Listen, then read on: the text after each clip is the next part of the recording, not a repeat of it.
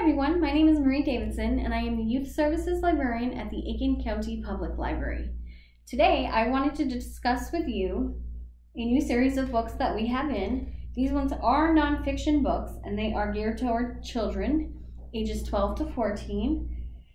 They are called contemporary issues and they are on topics that are currently hot topics in our media.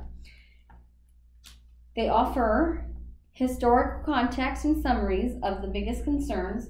So in each book you will find those, as well as subtopics with keywords and their definitions.